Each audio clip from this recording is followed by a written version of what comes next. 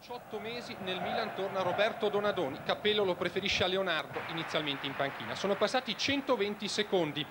Da Sakic a Rossi sulla fascia destra, il cross, la testa di Govedarizza, Taibi non ci arriva, il tentativo di salvataggio di Cardone, Lecce è in vantaggio con il gol dello slavo Govedarizza. Un altro Dejan, protagonista ma in negativo, è il rossonero Savicevic, espulso dopo sei minuti. Tentiamo di capire perché. Savicevic e Casale, c'è una manata, una spinta di Savicevic, espulso dunque Milan in 10.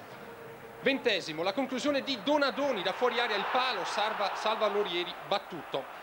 Il Lecce perde Annoni, al suo posto Conticchio.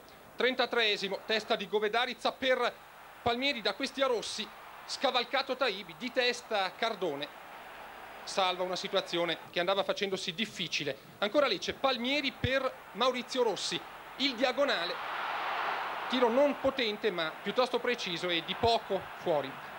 Andiamo al 42esimo, da Albertini a Clivert, evitato molto bene Viali, poi quello che dovrebbe essere un tiro a colpo sicuro diventa un passaggio per lo ieri e svanisce così l'occasione del Milan.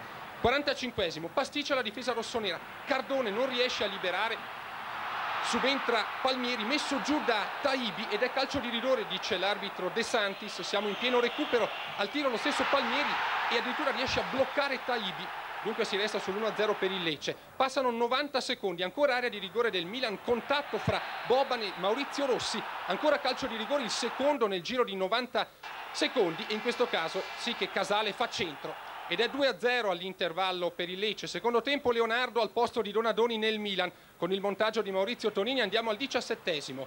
Il colpo di tacco di Ba proprio per Leonardo. Il sinistro, la parata di Lorieri. Poi il Milan non riesce ad approfittare della situazione.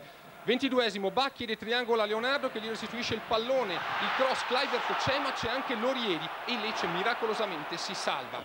Maspero per Govedarizza nel Lecce, in precedenza Maini per Boban nel Milan. 29esimo, il cross di Palmieri, Rossi non arriva, Maspero ha la palla gol ma la spreca incredibilmente così. 31esimo, il cross di Casale, il velo di Maspero, la girata di Palmieri non forte e può bloccare Taibi.